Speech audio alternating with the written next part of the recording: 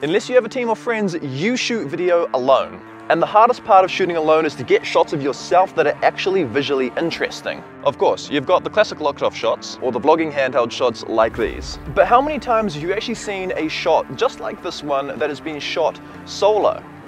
Well, today I'm going to be showing you how you can get your own shots just like this one, super duper creative, while shooting all by yourself.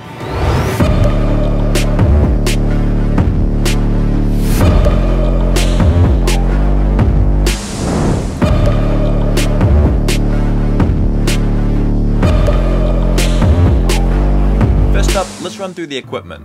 You'll need a flying camera, commonly known as a drone, Having a DJI drone with the active track feature can definitely be a bonus, however, we won't be relying on it entirely today though, so any brand can actually get the job done. You'll then in turn need a good place to fly with a whole lot of confidence. Well, either confidence or willingness to crash. Then finally, you'll possibly need an audio recorder. This is depending on whether you plan on talking or not during your shots. Now for the execution side of things. Honestly, it's pretty damn easy. In fact, it's actually so easy that I put it into three very simple steps for you to follow. Movement is best seen when there is an object in between the camera and the subject. This could honestly be a tree, another person, or even just the ground up close. So when you get to your location, try and look around and see if there's anything that could creatively get in the way of your frame.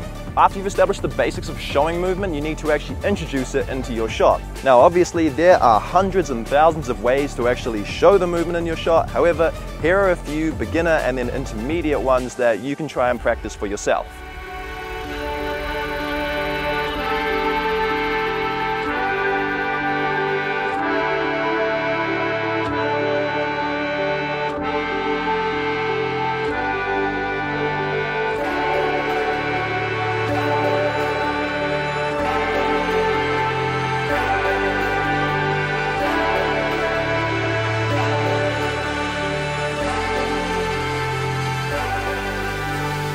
The key to making these shots look the best they can is to fly similar to how a secondary shooter would move.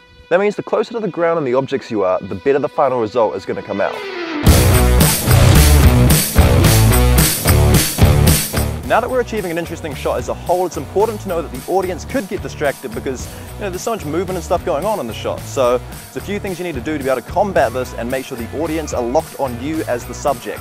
Firstly, try to add a little bit of subtle movement to yourself. You can do this by walking towards or away from the camera, being in a moving car or object, or just literally anything that moves. This is where DJI's Active Track feature comes in really, really handy because you can just lock onto yourself as the subject, start concentrating on the shot and what you're saying, and realistically just makes it a whole lot easier than trying to do this all manually. This is still completely possible without Active Track of course, it's just it's a complete pain in the ass. The second way to keep the focus on yourself as the subject is to isolate yourself from the background. You can try standing at high points so the bright sky makes your silhouette stand out, or try wearing opposing colored clothing to your background. I'm sure by now you've seen literally millions of the photos of the yellow raincoats on the dark stormy days. They're plastered over Instagram, like you cannot miss them. But the reason that they're so popular is because they're so effective in actually isolating the subject from the background.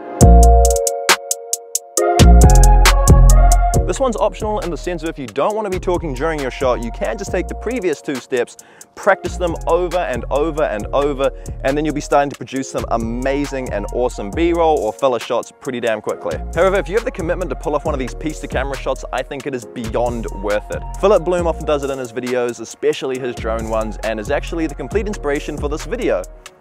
Of course.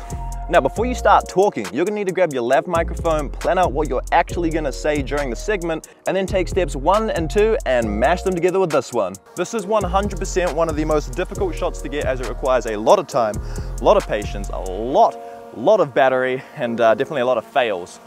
Along with that though, please, for the love of God, make sure you're recording on both the drone and whatever audio device you're using. However, once you've cracked all of the steps, you got to start getting insanely creative shots all on your own and be able to add them to your story to help fuel them forward. So that's all for today. Thank you for watching. Make sure to subscribe and we'll catch you in the next video. Cheers.